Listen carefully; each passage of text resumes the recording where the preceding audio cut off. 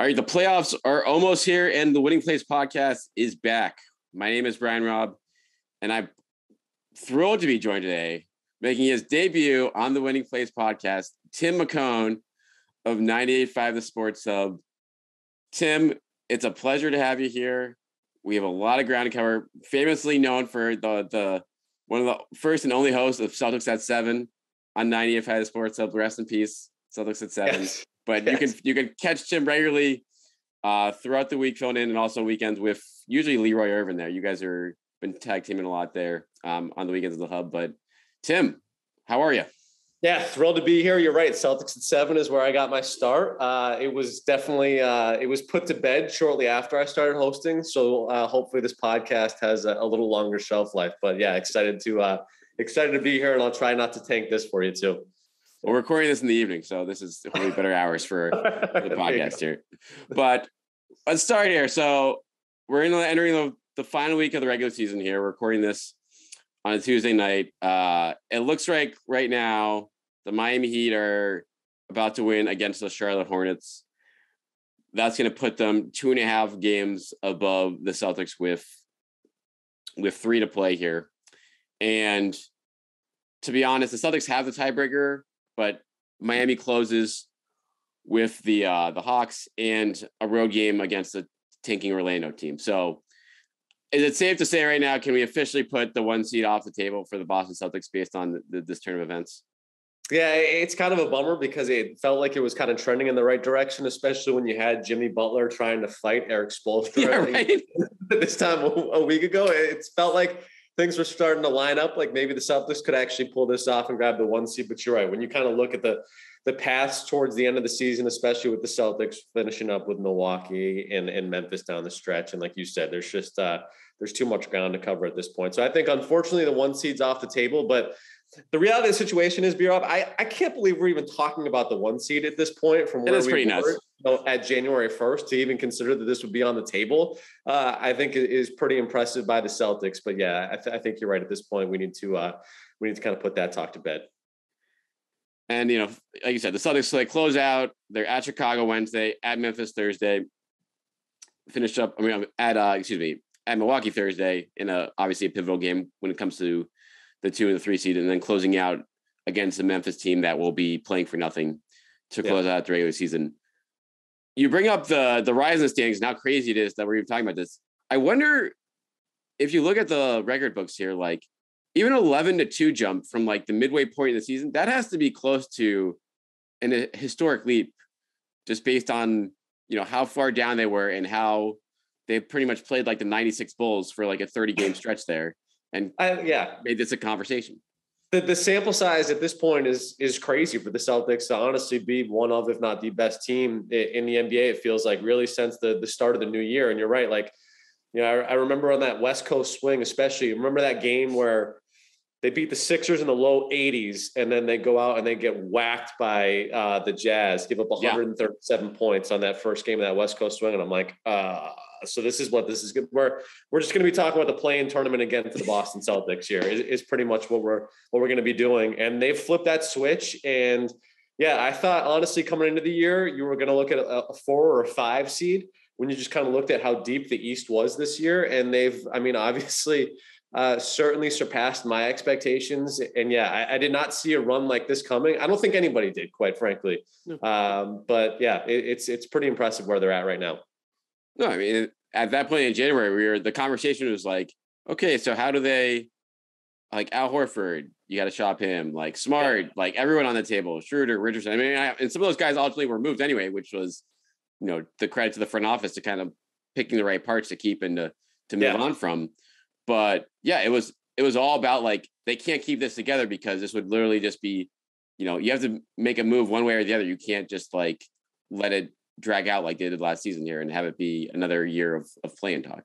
Well, no, and the sample size at that point, right? You're looking at a year and a half now yeah. with this group, and you're going, all right, like at some point, even though you really want this to work with what you kind of assembled, you have to kind of admit for that for some reason, this kind of core and what you have going isn't working. And uh, again, the, the fact that they were able to kind of to, to change this as dramatically and as quickly as they did, I think is really impressive. You know, you go back to the beginning of the year, and obviously, Ime is a new coach You had Jaylen out for for that stretch at the beginning of the year too, which I wonder if that kind of played into stuff. But yeah, once they kind of got their their footing underneath them and really hit the ground running in January, and you know, you go back to the start of it too, Rob. It wasn't like an overly impressive run of teams that they were beating at the start of this thing. It was kind of, you know, a, a tomato can type, type run where they were they were knocking off, you know, some some pretty terrible teams. But again, that was something that we haven't seen them even do last right. year they weren't winning games that they should be winning on a consistent basis. And that kind of started the ball rolling. And then, I mean, they've been an absolute wagon ever since.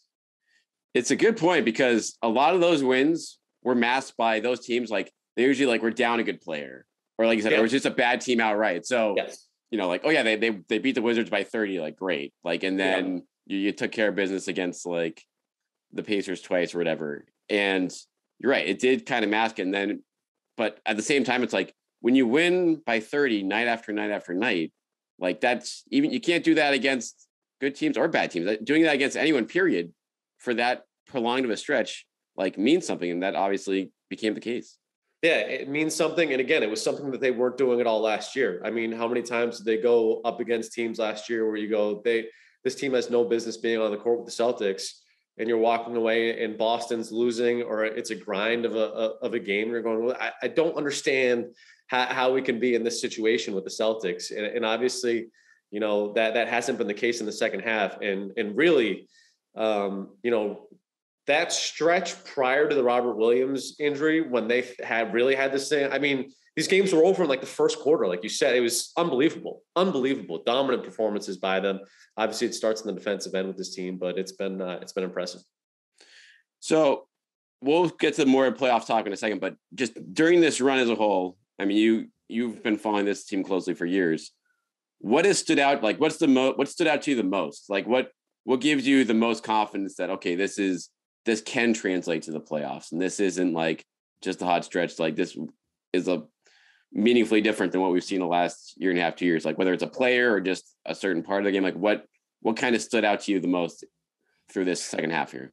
Yeah. So for me, it's three things, right? I think obviously number one, it's something we've been talking a, ton about. And when you kind of look at the analytics and everything like that and the 538 models, it's the defense, right? So defensively, this is an elite team, and you've got a lot of really good individual, elite individual performers on the defensive end as well. So obviously, you know, when you have a group of those guys, team defense, everything, they bought into what Ime is selling.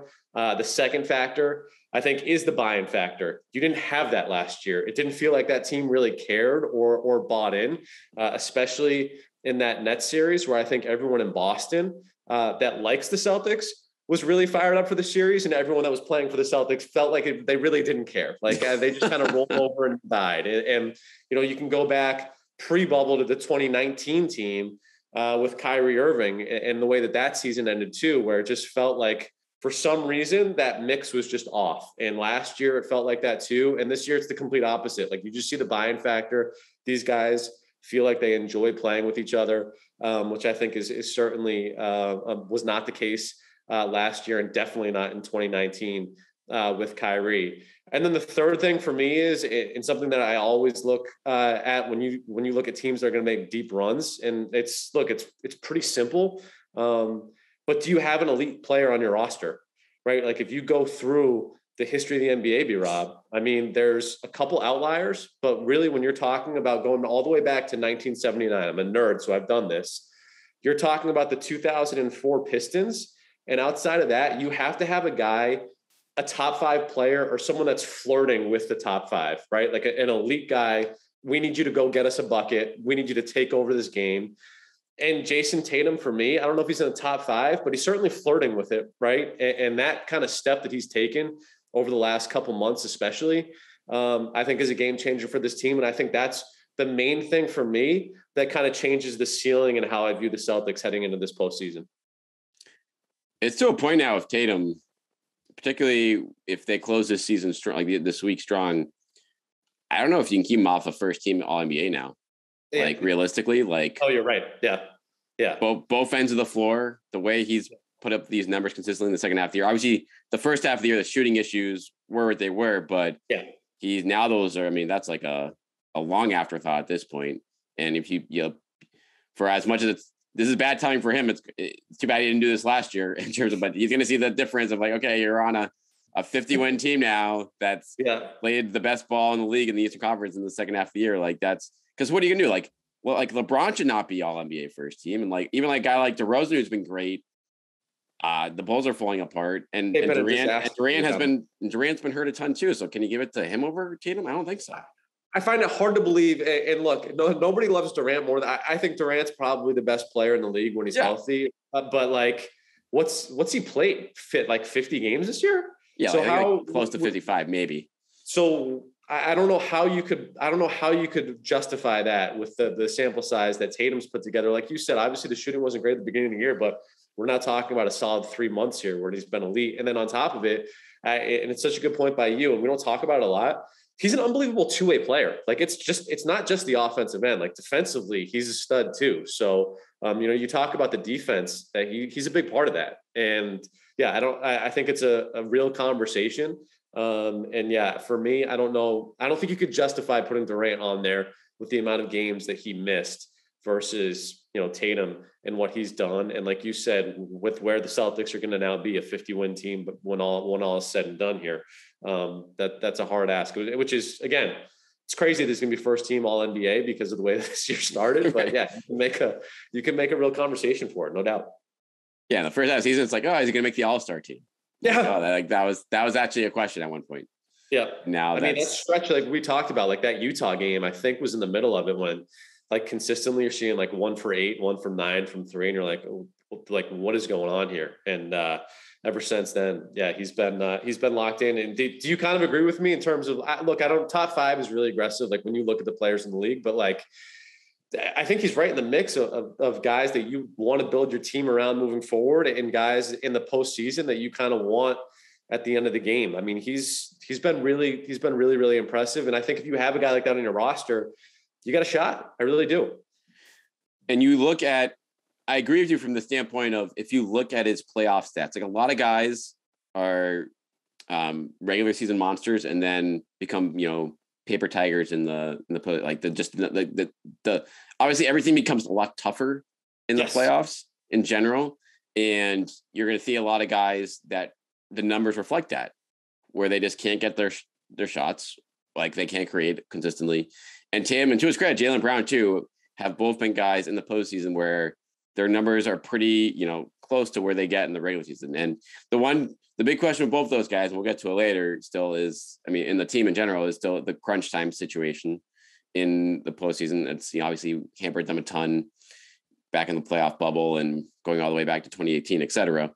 Um, but on the whole, Tatum is, you know, has enough tricks in his bag where he can get the shots he wants during the postseason, delivers it defensively in the postseason, can't be picked on there. So yeah, like that's that's certainly borderline top five at worst in terms of a postseason player in my mind. And you just brought it up too, and I think the perfect example we were talking about, honestly, is the from the Boston Celtics from what five years ago now with Isaiah Thomas, where in the regular season, stub, but when the postseason came around, we saw it. It got a lot got a lot more difficult for him and for that team. Like you said, it's just a different, the postseason's a different animal, right? So you can win a lot of regular season games by just kind of outworking guys and, and really being engaged on back to backs and stuff like that. But, um, you know, when push came to shove with that team, there was certainly a ceiling. And I think there was a ceiling for Isaiah Thomas in terms of being that number one option for you, just because of how size wise, how limited he was we talked about the defense for a bit here. Let's let's go through a, a ricochet shot for Isaiah Thomas. By the way, I know. come hammer him in the middle of this podcast. But there you go. Hey man, Sorry he's in the that. he's in the Hornets rotation now. like, this is like I know they can't get my guy James Bouknight any minutes, but all of a sudden right, Isaiah, yeah, Thomas, Isaiah comes in there, right? Playing to play PT. It's unbelievable. Yeah. Just just absolutely brutal. um all NBA defensive team. Like we talked about the all NBA team there. Tatum's doing one real shot there all NBA defensive teams, there's two. Smart is obviously going to make, I think, the yeah. first team at this point. We can talk about defensive player of the year in a second. Who else could we see two other Celtics besides Smart on one of those two teams? Like I think Rob Williams is there, and then then you look at like Tatum too. I'm like, why is why should Tatum not be on one? I, I don't know if he gets there, but like I think he certainly has a case for it. It's it's crazy, and you're right about Robert Williams too. I mean, you, you look at all the defensive metrics; the guy's a freak, and, and not even the metrics, just the eyeball test too. For me, with Robert Williams, and like you said, smart's a no doubter. Um, I want to get your thoughts on the, the, defensive player of the year stuff too. I know that for a guard to win that is, is, certainly not something that, that we normally see. So, so do you think that's that's a real possibility? But I, he'll definitely make it. And then you're right, Tatum deserves to be there. And and I think again defensively and what this team's done, and I think that's why it's so important that Robert Williams uh, hopefully uh, comes back. And I know that that sounds like uh, that they're in good shape when it comes to that, but I think when you look at kind of the ceiling for them moving forward, the defense is a big part of it. And and yeah, I think all all those guys certainly deserve to be in the conversation, no question. So the the defensive player of the year voting is gonna be fascinating to me because you have a situation here where your traditional big options are on mediocre defenses this year. Yeah. Rudy Gobert, the Utah's like 13th in defense. Okay. He should be disqualified for that. Yeah. Giannis, another obvious choice. Bucks are like 11th in defense this year. Like he'll certainly get votes, but I I think again there's there's an opening for the vote to be split. So you look okay, what are the best defenses this year? You have the Celtics, obviously. You have the Warriors. You know, Draymond Green, if he played a full season, would certainly be in the mix there. He hasn't, so he's out. Yeah. The Suns. I know Mikal Bridges has gotten some like I guess a little bit of buzz there, but he doesn't have like the the cachet that a, a Smart or someone else does defensively yet. So I'd say like no chance he gets it. Grizzlies are fourth. Jaren Jackson Jr. maybe, but eh. yeah, yeah, maybe that could. I mean, he, he certainly could be in the conversation, but you're right. Like I, I think a, a lot of this name recognition wise with Smart certainly is in his favor as well. You know what I mean? Which again right. is it's pretty wild the comeback that he's had this year because I, I thought personally last year he was not overly impressive on the defense. No, end. that was a big uh, step back from last year. Yeah, yeah. So for him to kind of bounce back the way he has this year, I think certainly was a uh, is impressive. And and yeah, when you kind of lay it out like that, especially with the uh, Utah and Gobert, because it feels like he's kind of been penciled in here for a few years now. Uh, you know, uh, I think it's definitely, I think he's definitely in the mix for sure. Right. And then the other I think the other two guys to watch here.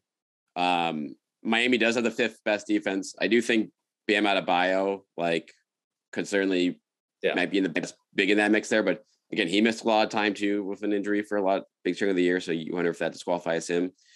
And then beyond that, you know, Embiid, I think will yeah. certainly be in that conversation. He's in the MVP talk. Like they're, you know, so I don't know. It's like it is like the the vote. I feel like it's going to be like wide open and there'd probably be like five or six guys within like striking distance of getting once the, the votes are released. So that's going to be um, fascinating to watch there.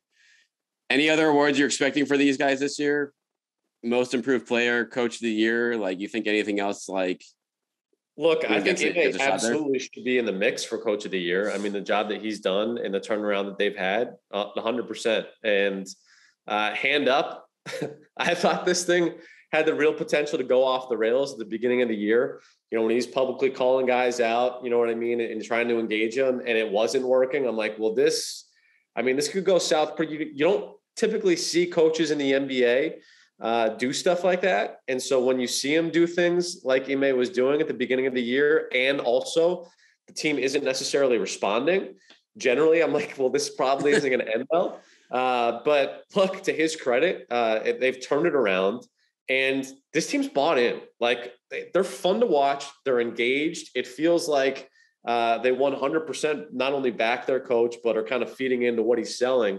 And again, eh, I'm there's not a bigger Brad Stevens fan uh, than me, uh, 100%. But I, I, would be the first to tell you that it felt like at the end of last year, um, it didn't feel like that team was necessarily responding to Brad. Certainly, the way that this team this year is responding uh, to to Ime.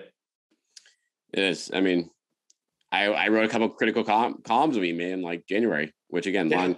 And to his credit, I think, I mean, I don't, I stand by what I wrote in those. Like, I think he made the adjustments. Yep. And I also think, like you said, I mean, to, to your point, and just where you brought up Brad, like, I think the front office also made the necessary adjustments. It's like, okay, give, move out the guys that are, you know, Ime is going to lean on unnecessarily here because they're veterans. Like, right. just, just get rid of that.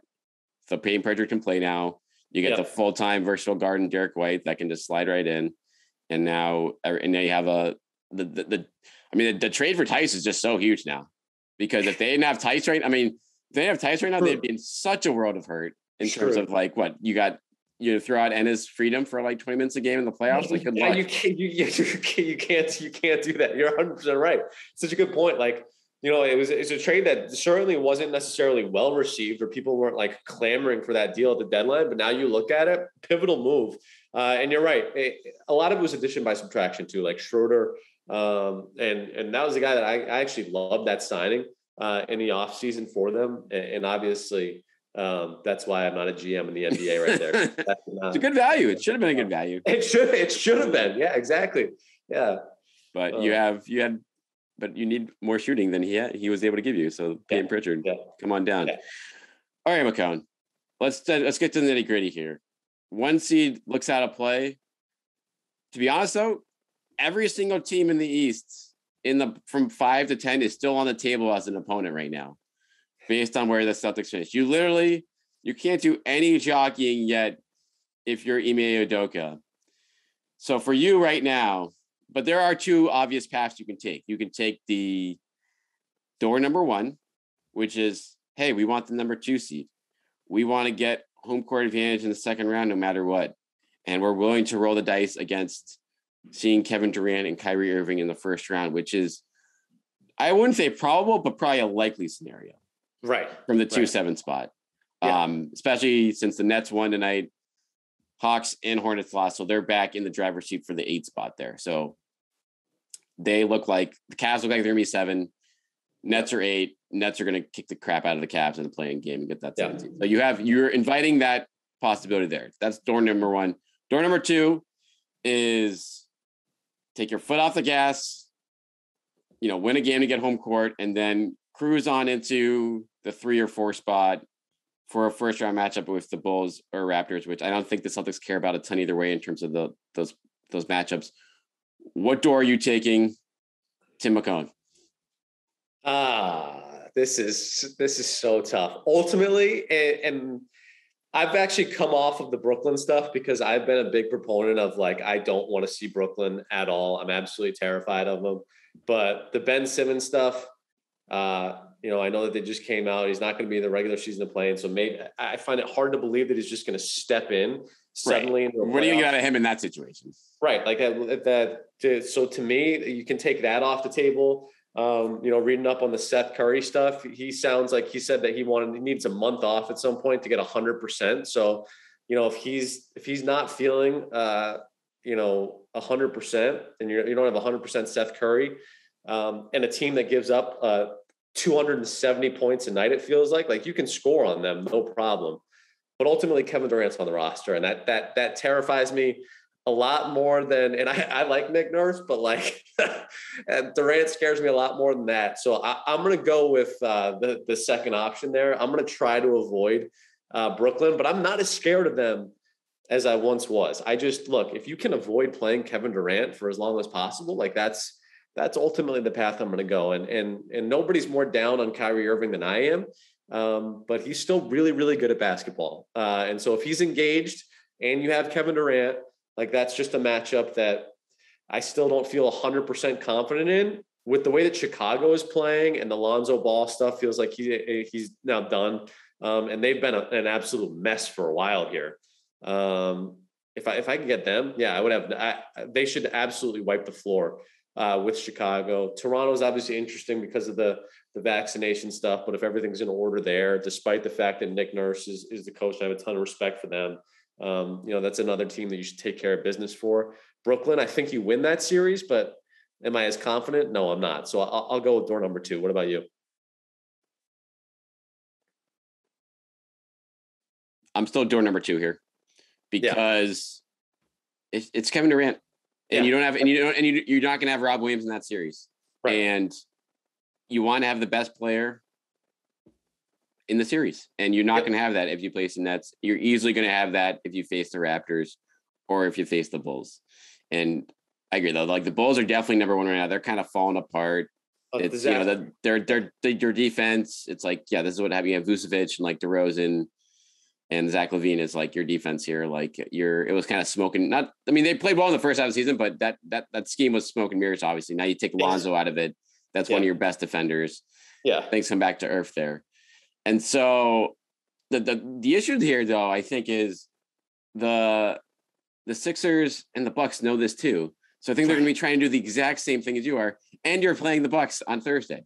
Yeah. So what what's your play here? Are you, are you, resting? You know, they, they need to win one more game. They need to lock in, I think, one more win to to ensure that they have home court to the top four teams. Because if if the Raptors win out or something like that, they could still theoretically try to fight. That's I mean, it's not going to happen, but like, yeah, you, yeah, I expect them to take care of business against the Bulls on Wednesday and try to beat that team.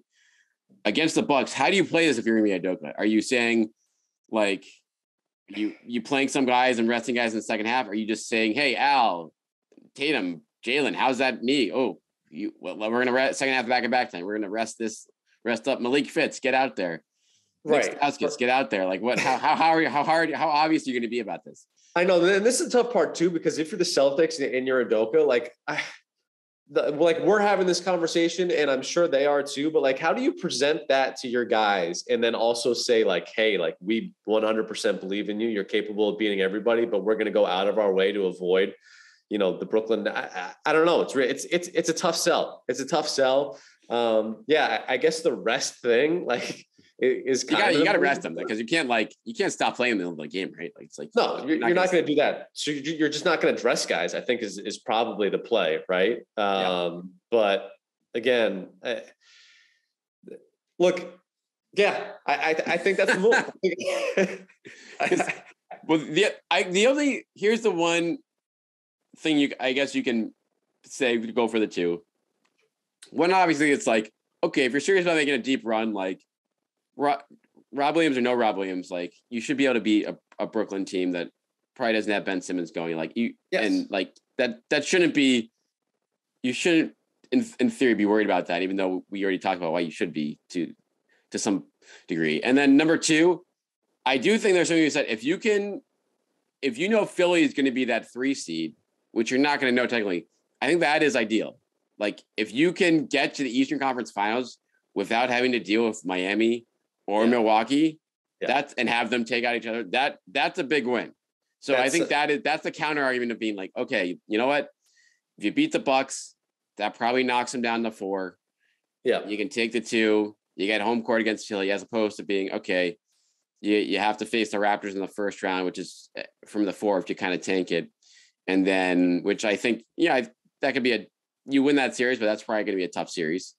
And then you have Miami on the road in round two. You're going to be underdogs in that series, I think. Yeah, no, no, I, am with you. When you look at the East, I mean, what teams realistically scare you uh, with with the Celtics right now? Because for me, like I, I have, you know, we talk about kind of avoiding Brooklyn and I think part of that for me is just the way that it ended last year. Like it would just kind of be disheartening if you went out round one against Brooklyn this year, coming off of the year that you just had. I don't expect that to happen, but man, that would that would suck. That would really that that would be that would be a terrible way to end the year. But I think you win that series. I'm not necessarily afraid of them. Uh, I might change that, you know, 24 minutes into uh, into that series. But as of now, I still think the Celtics win that series. But like the 76ers, I, I'm not afraid of the 76ers. Uh, for me, it's really the Bucks. I think and the Heat are the two teams where I, I think that you're really gonna um, you're gonna have a uh, your hands full. Um, but the 76ers, I just I don't buy it. Like Harden's not the same player he was anymore for sure. Um, we already know what he is like in the postseason. Um, but it, I don't I, I don't love that team, especially from a depth perspective now too. Oh, no question. I mean, their bench is you know, Joe. yeah, about they're playing DeAndre Jordan big minutes off the bench. That that, that, that tells you yeah. all I need to know right now. And then you have, I think in the playoffs, like Embiid is still unproven to a degree. Like I think he's, you know, he's a factor, but you have you have a someone to guard him now. Now Horford. Yep. A usual, who has been some of his kryptonite in the past in these moments. Yeah. And then you have a rookie or a second year guy, Maxey, who's like you know, who really hasn't shown much on the postseason level yet. Tobias Harris, that's not going to scare anyone. And then, oh. and defensively, that whole team, it's like you yes. have all all sorts of people you can pick on there. So yeah, who does anyone scare you more out of Miami and Milwaukee? Like if you're going to power rank power rank. Give me the top five teams in the East then, like including the Celtics. Then, like where do you where do you put them? Do you put them behind both those teams? Um, I I don't. I actually have Milwaukee probably one just because of, of, of Giannis and the fact that that team's done it now before. Um, I think the Celtics probably two. I put Miami behind them a little bit, and I know that they're going to walk away with the one seed. Um, I just last week wasn't normal. Like the Jimmy Butler, Erik Spoelstra thing, like I can't get that out of my mind. And so they're like, there's something going on there. Um, and who knows, maybe they'll right the ship. Um, but I also think that you're going into that series, and, and look, I know you did in the bubble as well, saying that we have the best player uh, on the court with Tatum, but like you have the best player in that series, and Jayson Tatum. Uh, I know there's a lot of nice pieces in Miami. I know it's a really good team, um, but I actually, I, I, think I would, I think I would take the Celtics uh, against Miami. But it's really those three I think have kind of separated themselves. I put the 76ers a notch below them. Uh, and then, like you said, Chicago's an absolute mess. Like I, they're they're a mess. Cleveland's a disaster now. Um, you know, Brooklyn is what they are, uh, like you said. So I, would probably put them kind of with the 76ers, a notch below those those other three. But I think it's really Miami, Boston, and and Milwaukee. Uh, I think it's gonna be one of those three teams coming out of the East. And I'd feel really confident, by the way, if Robert Williams did not get hurt, I would. I was I, I really felt good about the Celtics coming out, uh, coming out of there. Now we'll have to wait and see what he's like coming back. But um, I think it's between those three teams. Yeah, I'm I'm 100 percent with you on that. I still I, this this winning streak for Miami has kind of turned me other way. Like they've I watched a lot of them in Toronto the other night, and we we, yeah. we saw what they did against. I don't think the Celtics played particularly well in that game where no. they went up here. Um, yeah, but they, I think they're starting to get their pieces. Like Lowry is just looking like himself again. And they got all these guys like, you know, Herro is just such a problem for the Celtics, I feel like a lot of the time. And you have the Max Struses of the world who just come out and, you know, they go to Miami and they become, you know, starting Crazy. caliber players. Yeah. And so again, with that and just the the late game issues the Celtics have and the Rob Williams situation coming back from an injury, knowing how much of a handful Bam will be in that series, like if Miami has home court there, I give them I'd probably go, yeah, Milwaukee one, Miami two, Boston three, Philly four and five, and then you know Brooklyn five there. Yeah. So it's but it's tough because you can't plan for that. Like, yeah, you I you ideally try to get them both in there, but you have no idea how Philly's going to end up the season. You have no idea how Milwaukee's going to end up the season. So that's you know that two, three, four thing is going to come down to the last day of yeah. the year, probably in all likelihood, which is makes it a, a huge bear to plan for. No, it's it, it's crazy. I don't think there's any other team, honestly, in the East when you look at this, though. Um, and like you said, I think Chicago at the beginning of the year was certainly impressive. That thing's fallen apart. Uh, Toronto, I just don't think uh, has the horses. Obviously, although Siakam and, and Scottie Barnes have, uh, have, both been impressive to me at least this year. Uh, then Cleveland. Um, I don't even. Is Mobley going to be back for the postseason? I think so. I yeah. think he's supposed to. Yeah, like I think he should be ready to go. It sounds like Jarrett Allen supposedly yeah. will be ready to go. I mean, I honestly don't expect him to get out of the plan. like, no, like, no, like no, probably lose to Charlotte or yeah. Atlanta after they get their ass kicked by the Nets in yeah. that seven eight game, uh, which is too bad because that was like a really fun story. No, it was, and yeah. also, and that should be they like they should be the reason like they're like why the play in tournament sucks. It's like, yeah, you have a great feel good story. This team should be in the playoffs, but no, you, you get injuries at the end of the year and you're screwed. And then you're you're go- you're you're gone. And then I mean, the Hawks are probably the most disappointing team I think in the I mean, either them or you know the Knicks obviously had some buzz going into the year, but um, I mean the Hawks have been uh, that's not a team I'm scared of, and certainly not not something I think the Celtics would uh, would would care about if they somehow got out and then you know you were playing them. All right, well, that will do it for us here. We have six days left here to kind of go through all these scenarios, figure out where things are going to. Well, well, I guess one of this. Where what's your prediction? Where do they end up in the seating here? Uh, I think they're going to wind up as the two seed, and I think I'll go as far as the Eastern Conference Finals, B Rob, and then, and then, well, then I'll have to then I'll have to come back on the pod to recalibrate. Then, about if they're going to make a finals run or not. Yeah, which means, by the way, they'll get they'll get knocked out. They'll get swept in the in the in the first round. There, yeah. Uh, the net the Nets Durant goes yeah. for sixty four straight games. Yeah, and, exactly. Uh, Irving will Irving will stomp on the logo again. Everyone, will, yeah, that'll be it. Yeah. I tell you what, that the Garden will be if that's game one, Celtics Oh. Nets. Oh, That will be first get get all the ass clowns out of the Garden who could freaking throw Yeah, bottles like be oh, complete idiots. But from a from a atmosphere perspective, oh, it'll be on fire. On fire. be yeah. that'll be something else. Yeah. Um, but I like it. I like where your head's at. And then okay, and then what's your where's your Rob Williams return prediction? What what does he come back early? Surprise return in the first round or second Look, I, round? I, I would- I would love it. I, I don't know why. Maybe I'm just like optimistic and then just super naive because uh, like I, I'm still waiting for Shaq to come back. And what year was that? Was that 20, yeah, 2011. 2011? The cap is Uh, fine. Yeah, exactly. No, he's coming back. He's don't worry about it. Uh, so yeah, Shaq never came back. KG in 09, same thing. Yeah. Uh, but this feels different, I guess. Uh, you know, and and it's Stevens, not Ainge. So so who knows? Maybe this is actually going to happen. But uh, I for some reason I'm I'm I'm optimistic with this one. And if he comes back, I think that's a that's a game changer. Like I said, I was borderline overly confident they would come out of the East when they were. I mean, because they were just destroying teams Yeah. uh, at that at that point. And uh, so we'll see. Hopefully, he comes back and they they can kind of pick up where they left off because they were uh, they they were a wagon. yeah, you gotta you gotta hope you're. I mean, you're gonna have to be at full strength to get out of this Eastern Conference. Yeah. I think regardless, and if they can get there, that will make things what should be awesome East playoffs. Period. Like all the more fun in the final two rounds here. But Tim McKone, this was a lot of fun. Make sure you're this following is great, Tim. Follow Yeah. Tim at Tim underscore McKone on Twitter for a bunch of Celtics and UConn takes and um and bad jokes. And no, actually they're good. No, Tim Tim's Tim's one of the best deadpan jokes out there on Twitter. So make sure you're Appreciate following that. on there.